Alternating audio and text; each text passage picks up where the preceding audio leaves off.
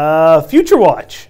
Uh, Moritz Seider, right? Tell us about that kid. Okay, so you know because we were talking about Kaapo Kakko and Jack Hughes, there's another draft eligible player Yep. in the World Championship, and that is Moritz Seider, the defenseman for Germany. Uh, already has a goal in the tournament, playing on a second pairing, getting you know some some good exposure here.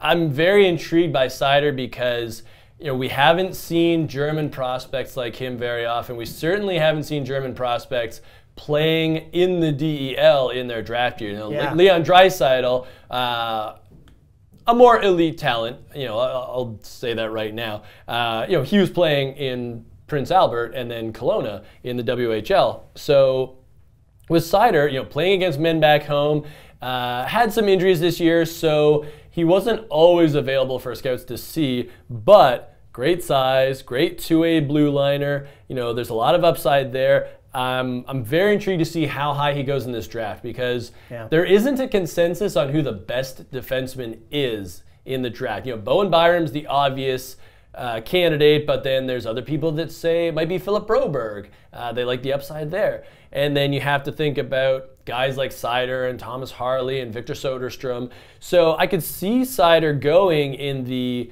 10 to 15 range Yeah. if there's a run on defenseman, or simply put, if a, if a team really likes what they see in him. So he's still playing hockey with the Germans, so that's great for He, uh, he drove the scouts nuts this year because they would come to see him and he wouldn't be in the lineup half the Yeah. time. But then he really turned it on like in the second half of the year. And I think part of it was was when he went to the World Junior, the uh, Group Two or B pool, Mm-hmm. Yeah, whatever, Division One, and he dominated. He Yeah. dominated at that tournament, and and I think that was sort of where things turned around for him. Yeah, and they got promoted because of Right, him, right. Uh, among other players.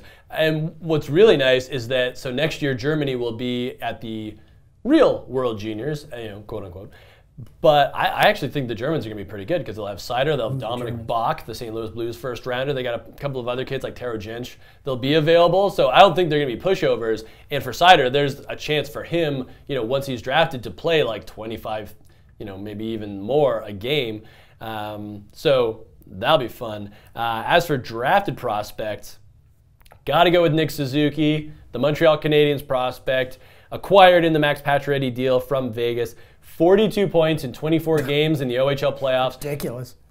Guelph had the most crazy run. You know, swept Kitchen in the first round. We're down three games to none to London. Came back. We're down three to one in game seven. Then won 6 3. They play Saginaw. Saginaw goes up 2 0, but their goalie gets suspended in the second game for the rest of the series for batting the puck into the crowd. Guelph comes back to win. Then in the final, they go down 2 0 to Ottawa.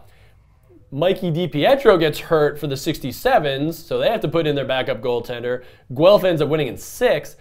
I was at game four, Nick Suzuki playing on the line with Isaac Ratcliffe, the Flyers pick, and Mackenzie Entwistle, the Chicago Blackhawks prospect, and they were just dominating Ottawa's one of they have Ottawa had two top lines, uh, but the one with Tye Felhaber and Marco Rossi was the one that Suzuki was was matched up against. They just dominated them. Um, I mean, the Suzuki line had the puck all the time when they were on the ice. Suzuki had three points that night.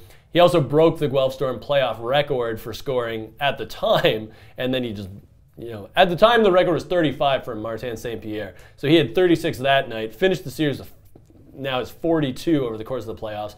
They're going to the Memorial Cup, and it's funny because they weren't the favorite going into the playoffs. But you look at the roster, it's like, wow, they're actually pretty deep there. It really came together. They loaded up too. They loaded up. Yeah, yeah. But they came together, and as many times as they were almost dead in the playoffs, they managed to get through. And now you're looking at a team that, you know, they only got to win a couple more games to win that Memorial Cup. I'm not saying they're the favorite, but Nick Suzuki is going to be a huge factor in that Memorial Cup tournament. Montreal Canadiens fans must be very happy.